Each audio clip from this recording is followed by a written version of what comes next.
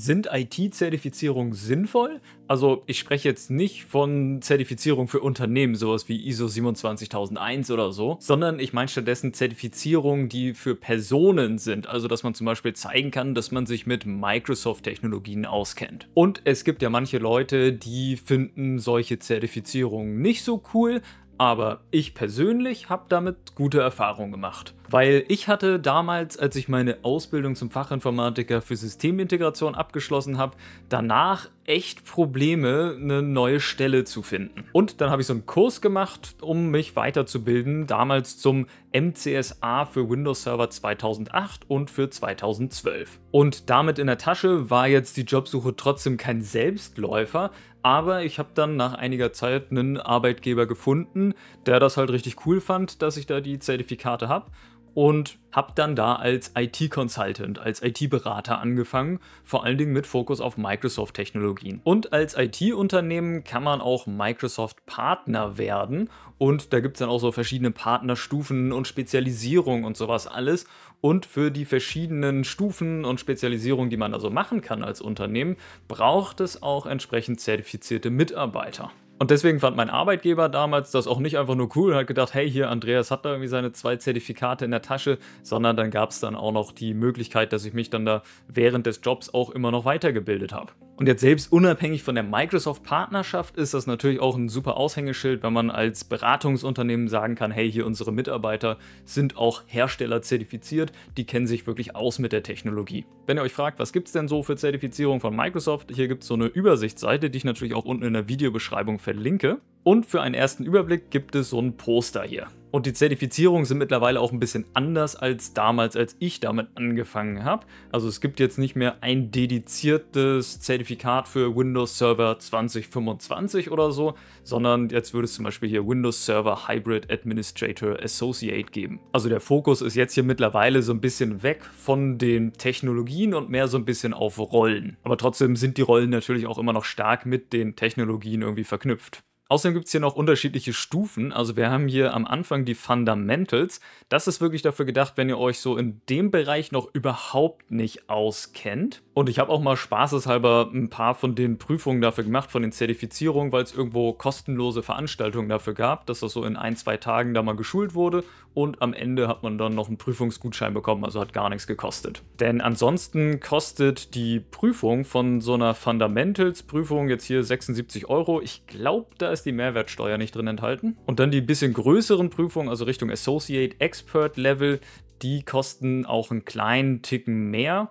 Da ist die Prüfungsgebühr 126 Euro, also Ticken teurer, aber auch nicht unendlich teuer. Und wenn man sich auf so eine Prüfung vorbereiten möchte, dann gibt es im Grunde zwei Methoden. Entweder man macht komplett selbst lernen oder man geht zu einem Kurs hin. Wenn ihr selbst lernen wollt, gibt es an sich auch schon hier so Learning Paths online bei Microsoft, aber ich finde, die alleine, die hauen es noch nicht so richtig raus. Also man muss auf jeden Fall auch noch ein bisschen weiter ausprobieren und noch im Internet schauen, in irgendwelchen Blogs und so weiter, ob man noch weitere Infos findet. Aber an sich ist es völlig möglich und ich habe die meisten meiner Prüfungen, meiner Zertifizierung bei Microsoft auch mit Selbstlernen gemacht und nicht mit bezahlten Kursen denn die sind tatsächlich relativ teuer. Also das kostet Tausende von Euros, also schon krass. Aber es gibt natürlich die Möglichkeit, dass sowas dann vielleicht auch der Arbeitgeber bezahlt oder falls ihr gerade arbeitssuchend seid, dann kann es auch sein, dass vielleicht die Bundesagentur für Arbeit das so als Weiterbildungsmaßnahme bezahlt. Es gibt auch so ein paar Anbieter, wo dann im Grunde Kurse verkauft werden für ein Heidengeld und dann sind es letztendlich aber auch nur wieder so Videokurse, die man abruft und da finde ich dann so Tausende von Euros ein bisschen prall für. Aber hey, wenn es einem hilft, irgendwie da die äh, Zertifizierung zu bestehen und das so die bevorzugte Lernweise ist, asynchron, dass man sich die Videos einfach nur reinzieht, dann hey, warum nicht? Und wenn ihr jetzt so eine Prüfung noch nie gemacht habt, dann fragt ihr euch, wie läuft so eine Prüfung eigentlich ab? Also, das sind grundsätzlich so Richtung Multiple Choice Tests einfach, die man machen kann. Man hat eine gewisse Zeit für. Kommt, glaube ich, immer ein bisschen auf die Prüfung an, wie viel Zeit man hat. Aber man kann die Prüfung dann wahlweise in einem Testzentrum irgendwo vor Ort machen. Da gibt es dann so extra Prüfungsräume mit einem Computer, wo man hingehen kann, um dann die Prüfung zu absolvieren. Oder man kann es auch von zu Hause aus machen. Aber da muss man dann so ein bisschen äh, schauen, dass die Räumlichkeiten auch passen. Also man braucht zum Beispiel eine Webcam dafür, Mikrofon und so weiter und muss schauen, dass dann da halt niemand anderes während der Prüfung im Hintergrund rumläuft oder zu hören ist oder so, weil sonst kann es sein, dass das als Schummelversuch gewertet wird und dann hat man direkt automatisch verkackt und die Prüfung ist, ist, man ist halt durchgefallen. Ist mir so in der Form noch nicht passiert, aber ich hatte schon mal so ein bisschen technische Probleme bei einer Prüfung und das ist dann halt echt ist schon ein bisschen so Stresssituation, du willst ja die Prüfung bestehen und dann kackt da irgendwie die Kamera ab und äh, dann hast du da so einen Online-Beaufsichtiger, äh, der dann schaut, dass du nicht schummelst und ah, das war echt nicht so geil. Es gibt aber mittlerweile statt diesen Standard-Zertifizierungen von Microsoft, die dann ja schon stark theoretisch sind, auch sogenannte Applied Skills. Also die nennen es jetzt hier nicht so richtig, dass es eine Zertifizierung ist, aber auch dafür gibt es ein Poster und auch dafür gibt es dann Online-Lehrmaterialien. Also wenn euch hiervon irgendwas interessiert, könnt ihr draufklicken und dann könnt ihr dazu online dann lernen bei Microsoft. Also hier zum Beispiel irgendwas mit Microsoft Defender XDR, gibt es dann hier Prepare for the Assessment, gibt es so ein bisschen Online-Materialien, was man machen kann. Und wenn man sich dann ready fühlt für die Prüfung oder für das Assessment, dann kann man das online machen und kriegt dann da so ein Szenario vorgesetzt gesetzt, dass man irgendwas Bestimmtes auch lösen muss. Also wirklich dann praktisch. Und das finde ich ganz cool, so als zusätzliche Sache zu den normalen Zertifizierungen.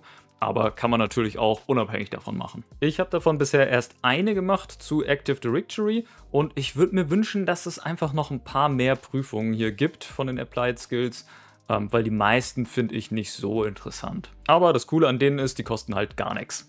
Ansonsten egal ob Microsoft Applied Skills oder die richtigen Zertifizierungen, es gibt natürlich immer Leute, die sich da irgendwie durchmogeln wollen. Also es gibt äh, theoretisch im Internet dann auch Leute, die dann die potenziellen Fragen aus den Prüfungen irgendwo online posten und die können dann natürlich einfach auswendig gelernt werden. Das ist zwar gegen die Prüfungsregeln, aber Leute machen das und ich würde das tatsächlich nicht empfehlen, nicht einfach nur, weil es gegen die Regeln ist, sondern weil es auch ein bisschen bescheuert ist. Also dann hast du am Ende da so eine Prüfung bestanden, aber kannst nichts.